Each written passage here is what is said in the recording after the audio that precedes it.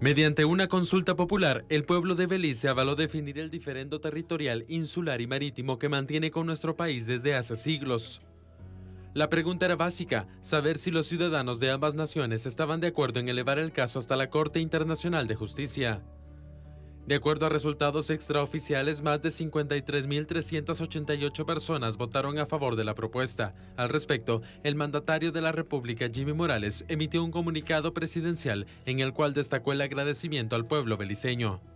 Celebro de manera especial la voluntad popular de nuestros hermanos beliceños en la reciente consulta popular que dejó resultados positivos para seguir impulsando una solución pacífica y armoniosa a nuestro diferendo territorial, insular y marítimo que data desde el siglo pasado. Extraoficialmente, sabemos que los resultados de la consulta popular en Belice fueron favorables para dejar en manos de la Corte Internacional de Justicia este litigio que por mucho tiempo estuvo paralizado. Durante su mensaje también estuvo presente la canciller guatemalteca Sandra Jovel, quien deberá ponerse en contacto con representantes diplomáticos de Belice para establecer la vía jurídica que procede por el momento. Hoy más que nunca debemos valorar la expresión popular de nuestros ciudadanos nuestra confianza está depositada en el sistema de justicia internacional.